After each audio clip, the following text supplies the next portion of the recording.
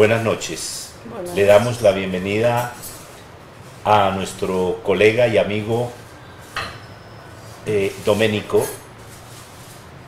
que nos ha venido a visitar desde Italia. Domenico, bienvenido a Medellín. Gracias. ¿Cómo te has sentido? ¿Cómo te ha tratado este Medellín? Medellín me ha tratado muy, muy bien. Es un lugar maravilloso. Mejor no digo que venga todo el mundo aquí porque si no se llena doble la ciudad. Es un lugar maravilloso, realmente espectacular. No esperaba conocer una ciudad así. O sea, tenía otra idea de, de Medellín y me quedé realmente pasmado. Eh, una metrópolis, mo- metrópoli moderna, eh, pero aparte de eso, el corazón de la gente es inmenso y, realmente bonito. Eh, me han recibido como, como uno de la familia, con el- como el mejor de la familia. Muchas gracias, Domenico. También nos acompaña doña Disney Pulgarín, también eh, compañera en estas lides de la hipnosis. Bienvenida, Disney. Gracias, hemos tenido una experiencia muy bonita con, con él porque nos ha enseñado, más bien de nosotros estamos asombrados de las enseñanzas de él porque sí nos lleva una ventaja muy grande en las terapias. Porque yo digo que cuando uno enfoca todas estas terapias en la parte espiritual, es ahí donde se dan más que sanaciones. Muy bien. Domenico, ¿cuál es tu concepto del manejo que se ha estado dando en Medellín sobre las terapias? Bueno, an- antes que nada quisiera contestar a, a Disney. Claro, Yo no he venido a enseñar nada, aquí he venido a aprender porque he venido en el lugar donde todo ha empezado, ¿eh? con los monstruos sagrados de la, de la hipnosis.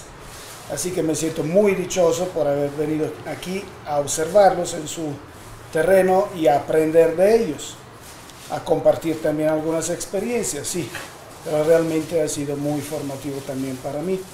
Como dice Disney, también se ha pues se ha ido desarrollando algo aquí de, lo espiritual que no era tan, o sea, no estaba en las previsiones. Y, y pues hemos tenido experiencias muy, muy fuertes, muy increíbles, terapias maravillosas eh, que hemos podido compartir y que realmente han sido de, de- de- de mucho aprendizaje eh, terapéutico y doctrinario también. muy bien, Domenico. Tu recomendación para todas estas personas que se inician hoy en, esta, en estas nuevas lides, ¿cuál sería? Estudiar, Estudiar mucho. estudiar mucho. Estudiar mucho porque hablamos de los que quieren iniciarse en esto. Esa es una disciplina maravillosa. Seguramente considero que el tipo de terapia que hacemos es de lo más complejo, de lo más completo y, y resolutivo que haya en el panorama de las terapias. Pero efectivamente cuando estamos tratando con un paciente, estamos tratando con un ser humano, con un espíritu, con una, con una entidad que es un mundo aparte y que va cuidada como algo muy delicado, muy precioso. Eh, y realmente no se puede, no es correcto intentar hacer terapias solo mirando nuestros videos. Hay que estudiar, estudiar, estudiar y después practicar, practicar, practicar, practicar. Así que mi recomendación para los que empiezan es realmente estudiar. Hay, hay muchos libros, muchos autores importantes. Luego hay libros abiertos como nuestro gran Aurelio y, y ustedes también que han compartido muchos videos. Pero se necesita estudiar los fundamentos y, estudiar también el aspecto espiritual. Yo personalmente estoy más enfocado en el aspecto espiritual de, la- de las terapias. Eh, considero eso importante porque Y en la terapia regresiva que hacemos muy seguido se manifiesta se manifiestan problemas espirituales o la parte espiritual de la, de la persona y hay que estar a la, a la altura para manejarla de la mejor forma, sobre todo porque cuando hay pacientes que vienen con uh, percepciones espirituales un poco más desarrolladas y le hacemos su sesión de terapia, se queda un poco abierto este, como decir, esta facultad y si no se maneja bien, si no se conoce bien esto, puede generar algunos problemitas después de la terapia al paciente. Muy bien. Disney, tú que has podido compartir con Doménico en esta semana, ¿cuál es tu concepto de esta maravillosa visita? Una maravillosa visita, estoy asombrada porque nos dimos cuenta sobre todo de las enfermedades, sobre todo con el cáncer. Hay que buscar ese el origen, la emoción que tuvo la persona meses antes de la, de la terapia o de enfermarse mejor, de haber somatizado su enfermedad, su cáncer. Y ahí encontramos el origen, donde la persona llega a sacar la angustia, la tristeza, lo que le generó el cáncer, el bloqueo en su cuerpo y tenemos mucha fe que estas personas que hicieron terapia esta semana ya, yo creo que ya ese cáncer se desapareció. Disney, para aquellas personas que no saben de qué se trata estas terapias, ¿podrías tú hacer una, una pequeña explicación sobre qué es la hipnosis clínica? Diría yo que la hipnosis clínica ni debía llamarse hipnosis. Muy bien. Yo digo que cuando la persona se sana su espíritu y su mente, automáticamente sana el cuerpo. Entonces es enfocarla más bien para que la persona busque el origen de su dolencia, de su enfermedad, que la llevó a somatizar o a bloquear su cuerpo y lo encuentra y a través del perdón es donde la persona saca sus sentimientos de culpa, se libera de todo ese pasado, diría yo, de toda esa carga emocional que recibió en el momento de, alguna noticia o de algún un fallecimiento de un ser querido, donde no dejan ir al, al que se murió, sino que más bien bloqueó su cuerpo con, y somatizó un cáncer o somatizó un dolor por, el, por la tristeza y por el dolor que sintió en ese momento. Hay que buscar, es el origen. El origen y la hipnosis es la herramienta más poderosa para ir a buscar en el inconsciente el origen de lo que está presentando el paciente. Muy bien. Doménico, ¿cuál sería entonces la forma correcta de llamar esta terapia? Bueno, la palabra hipnosis tiene que ver con uh, la, raíz griega hipnos, que, griego antiguo, hipnos, que quiere decir sueño. Y esto engaña mucho a la gente que se acerca a recibir una de, esas terapias, porque la hipnosis absolutamente y categóricamente no es sueño. Así que desde un punto de vista terapéutico, yo considero más oportuno llamarla introspección guiada eh, o terapia introspectiva, que literalmente es entrar adentro de uno mismo y ver cómo nosotros habíamos decidido em, quedarnos con la parte dolorosa de un recuerdo en lugar de quedarnos con la parte que nos hubiera podido beneficiar. La, finalidad de la terapia es exactamente cambiar el enfoque de cada recuerdo. Eh, y, eliminar el dolor. No podemos cambiar los acontecimientos de la vida, pero podemos cambiar la forma en que me afectan, la, carga emocional que, que, le hemos decidido dar en nuestra vida. Eh, relativamente a qué es la hipnosis, y, y, por eso no es correcto llamarla hipnosis, no es sueño, sino un simple y sencillo estado de disociación que se puede alcanzar en cualquier nivel. No hay ni siquiera en realidad necesidad de estar metiendo el paciente ahí eh, rígido y, tenso, sino eso se puede hacer hasta platicando, porque estado de disociación útil a fin de una terapia podría ser el mismo que probamos en una, en una sala de cine.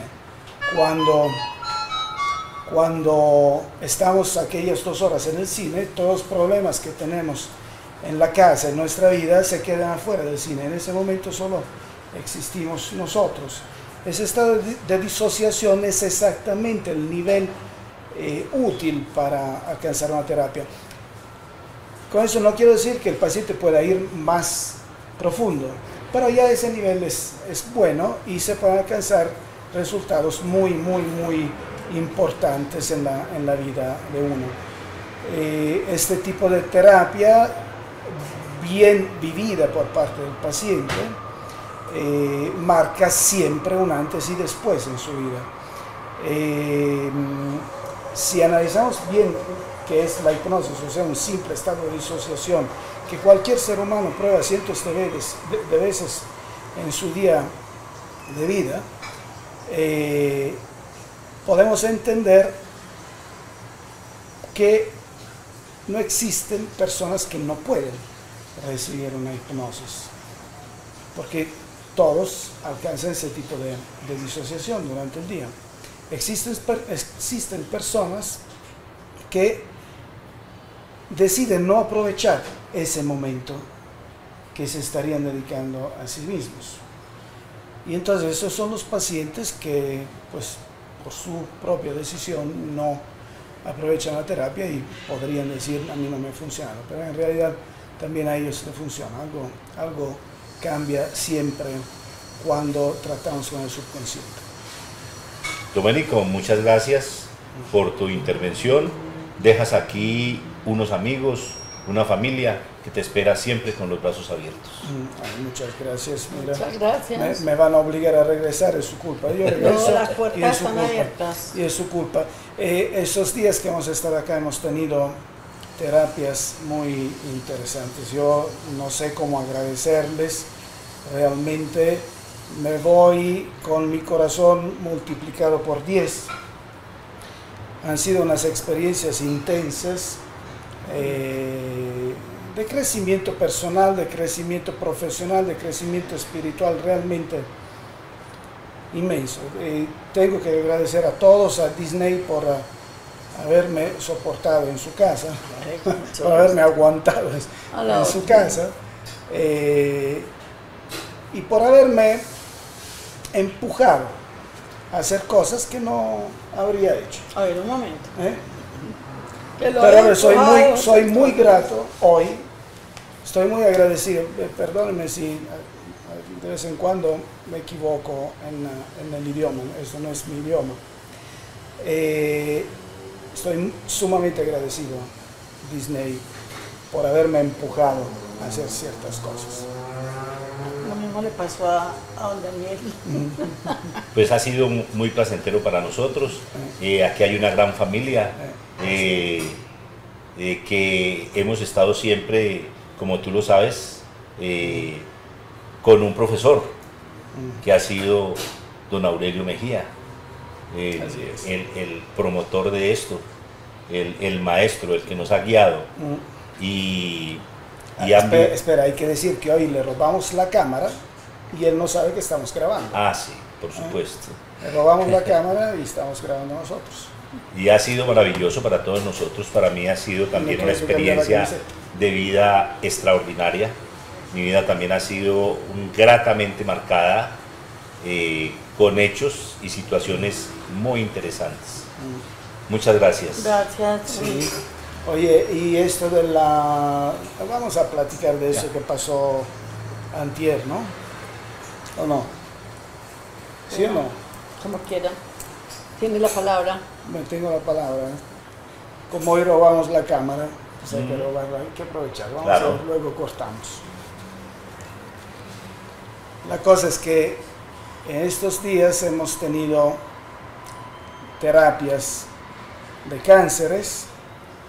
Eh, personalmente eh, estoy un poco más enfocado en estudios acerca de la, aplicación de la hipnosis en el, cáncer. Hemos podido platicar en esos días, en esos días hemos tenido tertulias acerca de eso. Y sin querer dar falsas esperanzas a nadie, considero que la hipnosis en este caso, o la terapia introspectiva, eh, puede representar una herramienta fundamental en salir de una situación de cánceres. Eh, ya se está generando una especie de protocolo en este sentido y es muy interesante. Ya hemos tenido algunas, podemos considerar, considerar las sanaciones. No somos nosotros quien sana, es el paciente quien sana, así que no vamos a vender nada raro. Pero efectivamente la hipnosis es capaz de poner al paciente en condición de autosanarse hasta de un cáncer. En estos días hemos tenido tres casos importantes, eh, exactamente uno hoy muy fuerte, eh, y que han sido un cáncer de estómago, uno de garganta y el otro, ¿dónde era? De, ganglios. De ganglios. y los tres han tenido un resultado. Bueno, estaremos viendo los próximos días, pero ya, ya se ve la diferencia. También ha pasado una experiencia muy, muy fuerte cuando estaba diciendo que me ha empujado a hacer cosas que no quería hacer. Disney. Hágale. Hágale. Resulta que hace tiempo, me imagino que esa noticia aquí en Colombia debe haber sido muy sonada de, un muchacho que desapareció en, ah, Bolivia. Eh, ese muchacho conducía, piloteaba una avioneta de fumigación y creo que estaba ahí en Bolivia en un territorio, supongo, hostil. La cosa es que hace un año ese muchacho desapareció y su mamá quiso venir de Bogotá con nosotros para saber algo de su hijo. Y cuando me dijeron eso, a mí me brincó el cabello de la... Dije, no quiero aceptar esa, esa terapia, esa señora, porque no somos brujos, para, no somos adivinos para decir eso. La señora venía para saber algo de su hijo. Pero Disney, que es, aquí dicen canal, es sensitiva, tiene, tiene dones mediúmnicos de, muy alto nivel, percibió que sí se podía hacer algo. Así que me dijo, no, no, deja venir la señora. No, pero yo no quiero, deja venir la señora. Y cuando llega la señora, yo, bien grosero, le digo en la cara, señora, ¿usted qué quiere? ¿Qué pretende que hagamos hoy con usted? Somos terapeutas, no, no adivinos. Eh, no, no, se ofenda, pero yo no quería que usted viniera, eh, porque tampoco sabemos cómo enfrentar la, la cosa. La señora no se ofendió con lo que yo le dije. Si la señora verá ese video, la señora Janet le pido una disculpa por eso, pero podemos reírnos de la, cosa ya. Y, finalmente decidimos comunicarnos con una muy querida amiga mía en, en Suiza, que igual es, es una medium con capacidades muy, muy elevadas y, a través de esa amiga, el hijo de la señora se comunica. Sin estar dando tantos detalles, se comunica el hijo, el hijo eh, da muchos detalles para, para identificarse. Y la cosa se sale por otro lado, porque resulta que este hijo no ha muerto. Resulta que estaba en coma en un hospital que no sabemos cuál es, en Bolivia sin nombre, o sea, él perdido y sin documentos en este hospital. Y cuando yo intento conocer algo más de la cosa, la comunicación con Suiza se interrumpe y no podemos tener más comunicación. La noticia ya me, medio cortó la voz porque ya cuando estaba diciendo eso no sabía cómo decirse al Señor. Eh, estaba muy emocionado y la señora con, ¿cómo decir? Muy digna en su dolor, muy digna en su dolor, eh, muy elevada. La cosa es que después de, un, de unas horas eh, volvemos otra vez a comunicarnos con nuestra amiga en Suiza que se llama Angela, pero ya no había espíritus, así que yo insisto en preguntarle a su guía espiritual por qué hemos tenido ese tipo de, comunicación, porque normalmente recibimos comunicaciones espirituales para tranquilizar la familia, no para alborotarla, y esa era una noticia de, alboroto. Eh, pero a ese punto el maestro espiritual de mi amiga sí me dice algo, no quería hablar, pero sí me dice algo, dice a ti que te ha llegado, ¿qué ha llegado a tu mente?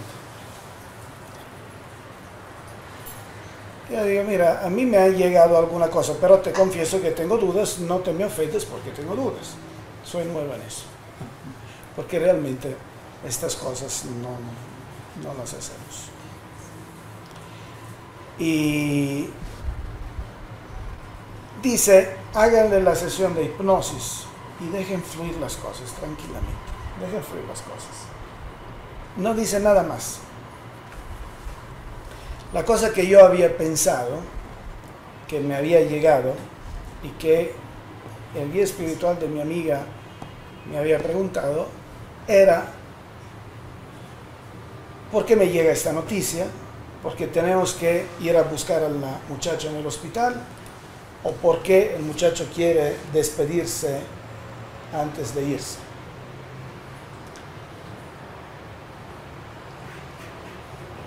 Empezamos la, terapia y empieza Disney, la terapia que condujo Disney. Ese video no se va a publicar, es un video privado. Empieza Disney y la señora va al momento que nace su hijo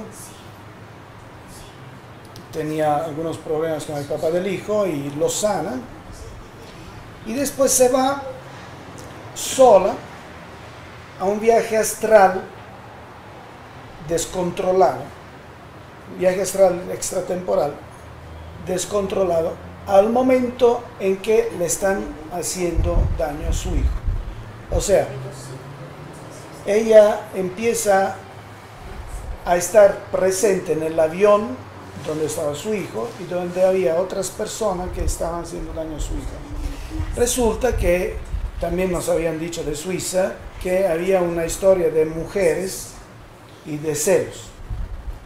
Eso fue la causa del problema. Y la señora no nos había dicho esto, pero cuando Angela nos platica de mujeres y de celos, ella dice, sí, la Interpol nos ha platicado de eso. Por ahí va la cosa mira. Y Disney y yo nos salíamos de la sombra, estábamos así. Y entonces ella en su sesión de hipnosis se va espontáneamente a un viaje astral ahí en la avioneta donde estaba su hijo y que empiezan a golpear.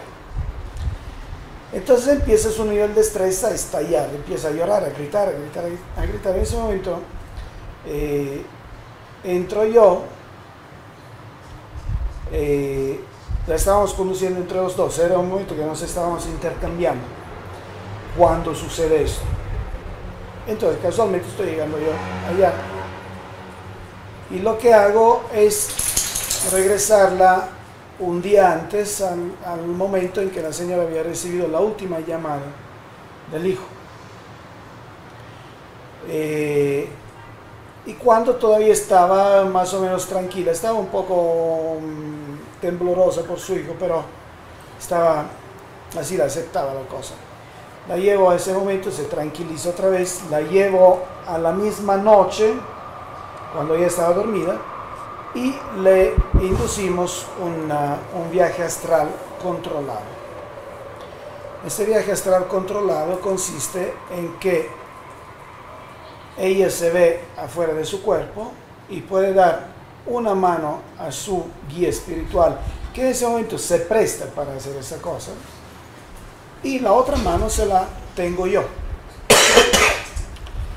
Eh, la razón de que yo le tenía la mano no era solo para acompañarla, sino también para medir su nivel de estrés en la mano, eh, en todo momento. Pero eh, ella, una vez en la, en la, avioneta, podía mirar desde el punto de vista espiritual también al ángel de, la, de su hijo que estaba de todos modos ahí protegiendo y, todos los seres de los que podían estar, podían estar allá. Había varios. Cuando ella empieza a ver que golpean al hijo, vuelve a tener algo de estrés, no como antes, era un poco más controlado, pero vuelve a tener algo de estrés. Como esto no era útil, la hago brincar de cinco días. Eh, brincar de cinco días, ella ve a su hijo em, tendido en el monte, muy herido en la cabeza. De hecho, cuando llegó la noticia que iba a venir esta señora, Disney, que es sensitiva, sin saber nada, sintió dolor en la cabeza, exactamente donde después nos dijeron que había recibido los golpes. Sí, Disney es increíble. Eh, pues, resulta que Disney y yo hemos caminado juntos varias vidas, nos ha, nos ha dicho su maestro. Qué curioso, ¿no? Eh, entonces ve al hijo ahí tendido, cinco días después en el monte, eh, inconsciente, y empieza otra vez a subirse su nivel de estrés, yo se lo medía con la mano. Le hago brincar a, a 15, 20 días después el hijo estaba prisionero en una cueva, eh, prisionero de los narcos. Eh, ya recuperado, pero muy nervioso, llorando, mm, con miedo, no sabía qué, qué cosa, pero siempre ahí estaba su guía espiritual, su ángel protegiéndolo. Así que la señora todas las veces se preocupaba por su hijo, pero cuando veía al ángel que estaba protegiendo a su hijo, y que el mismo ángel le decía a ella, tranquila, no te preocupes, todo, todo irá bien. Ella se medio tranquilizaba, yo brincaba a otro tiempo. Brincamos a, a dos meses después y, y el muchacho estaba en coma en el hospital. Así como había dicho Angela, pero siempre con su maestro al lado que le tenía la mano, siempre, en ningún momento lo había dejado. Brincamos otra vez, eso pasó antier, brincamos con este viaje astral hasta el día de antier, en el supuesto hospital. Pero esa vez ella veía a su hijo, todo intubado, lo veía muy mal, ella dice, está muy mal mi hijo, está muy mal mi hijo eh, y había muchas entidades de luz en la, en la pieza del hospital. Y finalmente ella ve también a su hijo, al espíritu de su hijo, medio desligado del cuerpo. Y su hija está feliz de ver a su mamá, increíblemente feliz de ver a su mamá. O sea, estallada de felicidad. La mamá lo abraza Al abrazarlo, espontáneamente empieza a decir, Señor, si te tienes que llevar a mi hijo, llévatelo, no lo hagas sufrir, ya está sufriendo mucho, llévatelo. Ella espontáneamente. En el momento que dice eso, empieza ella a decir, mi hijo se está muriendo, se está muriendo, se está muriendo mi hijo, se, se muere. O sea, su hijo se había tratado de comunicar todo este tiempo y decir que estaba en el, en el hospital en coma para despedirse de su mamá. Esperó que su mamá llegara ahí para morirse, para dejar el cuerpo, para desligar. Fue, fue increíble y yo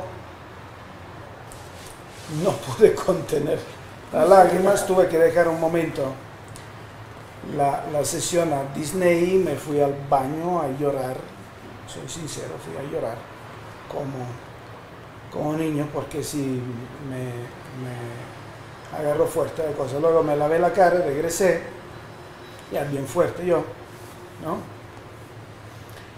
Y, y su hijo estaba esperando para despedirse. Su hijo todavía estaba ahí cuando yo regreso del baño. Estaban todas las entidades de, de luz, eh, mucho amor, mucha felicidad.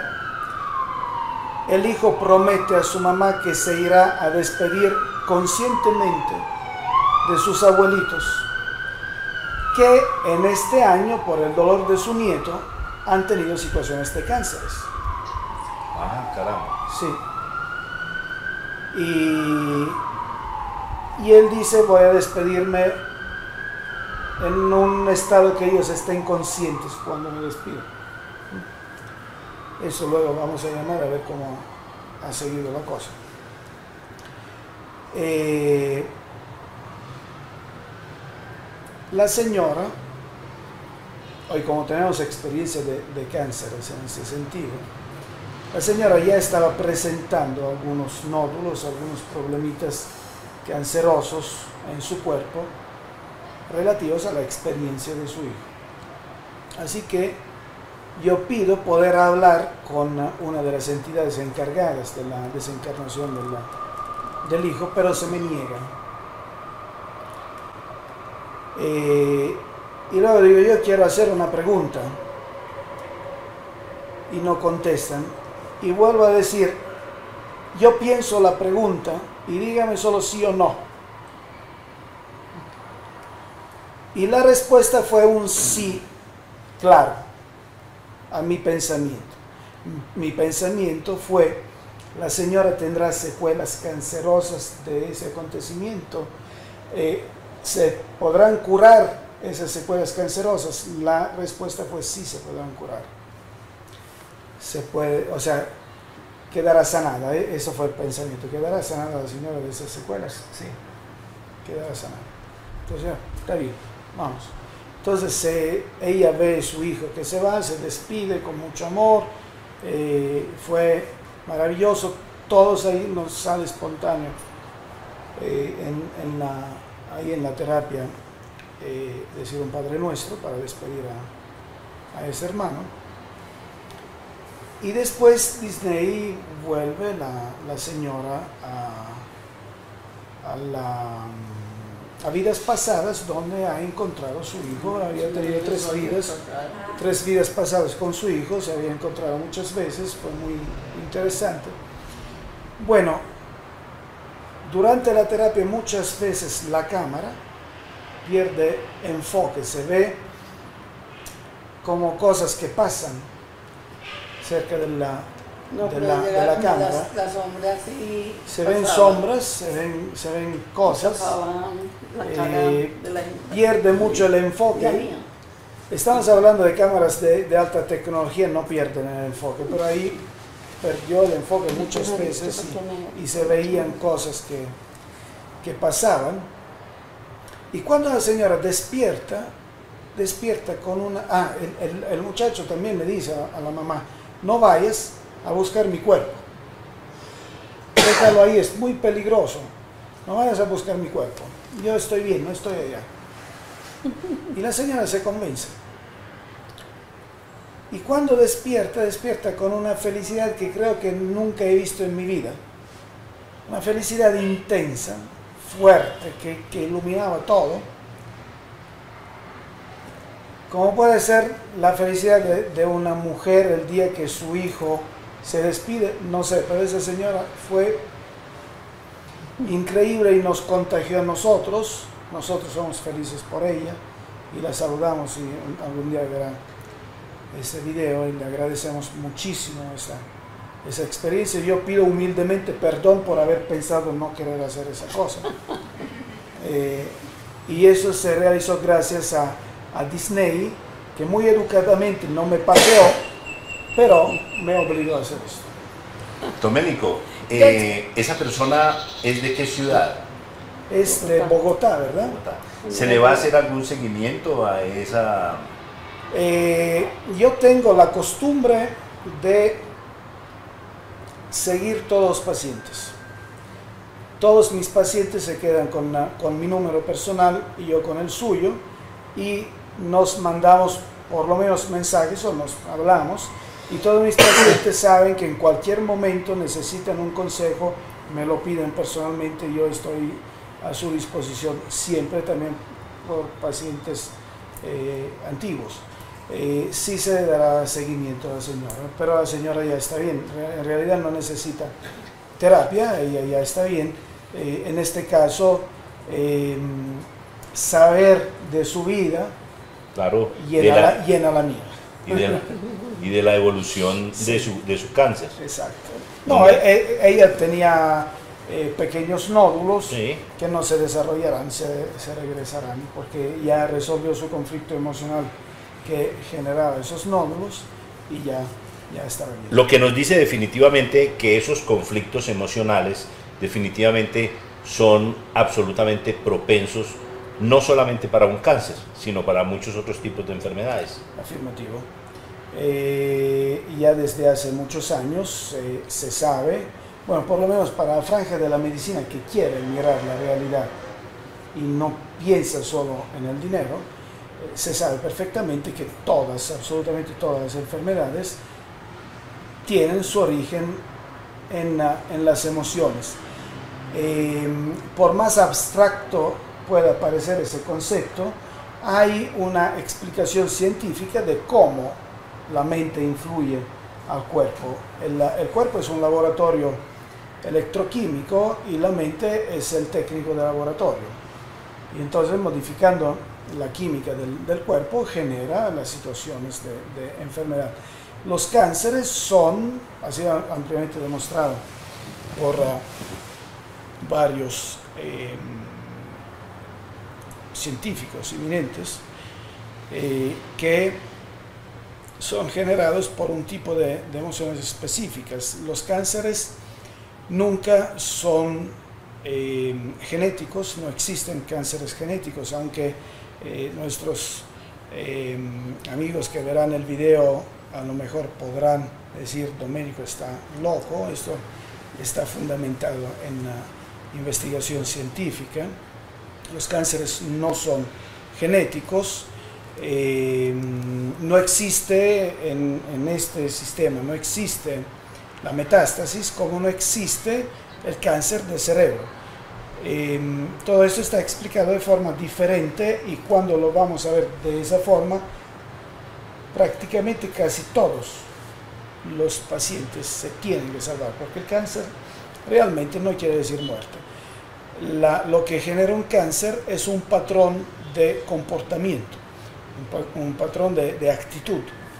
Eh, la persona que es propensa a tener cánceres es aquella persona eh, aprensiva que se toma todo a pecho eh, o se mantiene todo adentro, eh, que eso además en la sociedad moderna es, muy común, por eso es tan común el cáncer.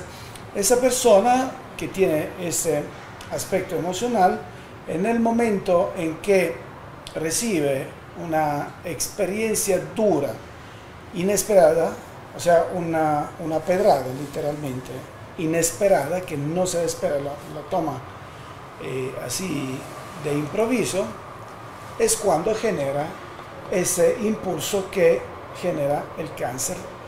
El cáncer se desarrolla en dos fases. Una fase es en un, en un órgano específico por cada emoción y eso es previsible siempre, no hay fallas. Y se desarrolla también una especie de fiebre en, el cerebro. Eh, mientras el conflicto emocional se quede activo, ese cáncer seguirá creciendo y la supuesta fiebre en el cerebro, que siempre está perfectamente calculado dónde se genera, también va creciendo.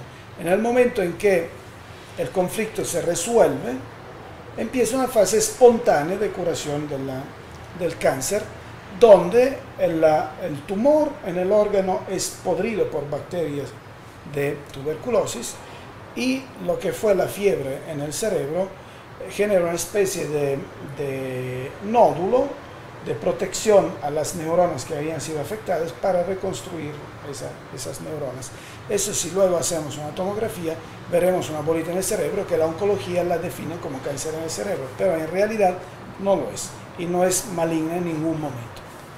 Eh, conociendo bien estos mecanismos, y estos los desarrolló el, doctor Hammer, un alemán maravilloso que merita, que emerita 200 premios Nobel por sus descubrimientos, pero desafortunadamente pisa intereses establecidos eh, y entonces nunca se los darán.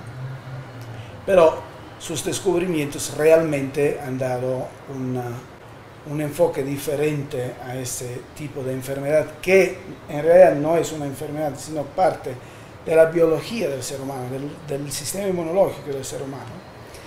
Eh, y entonces, viendo desde este punto de vista, se cura fácilmente un cáncer, muy fácilmente, y la hipnosis eh, ayuda muchísimo en, generar ese cambio de actitud que hace regredir el cáncer y permite también que no vuelva a generarse. Interesante. ¿Cómo obtenemos esa información de este doctor Hammer? Ah, esa es información muy disponible en internet. internet. Sí, es muy disponible en internet. Hay libros.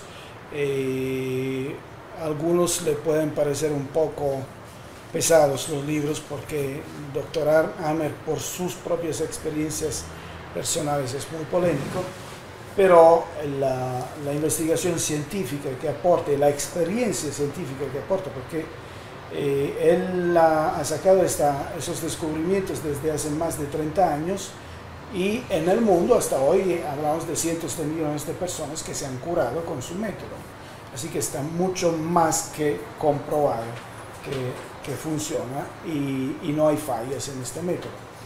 Eh, toda la información está disponible en el Internet, solo es querer estudiar eso relativamente al cáncer de, seno, que es una plaga en el mundo en ese momento, el doctor Hammer tiene un libro que se llama Cáncer de mama, que considero que toda mujer debería leer en lugar de terminar en una carnicería. Muy interesante. Muchas gracias por tu aporte. Esperamos podernos seguir comunicando contigo para mantener esta información circulando por, por todo nuestro grupo. Pero aquí en, en Medellín hemos compartido esa información, Sí, claro. ya está disponible, así que se podrá hacer mucho. Eh, Les agradezco mucho haber aceptado compartir esa información. Gracias, gracias.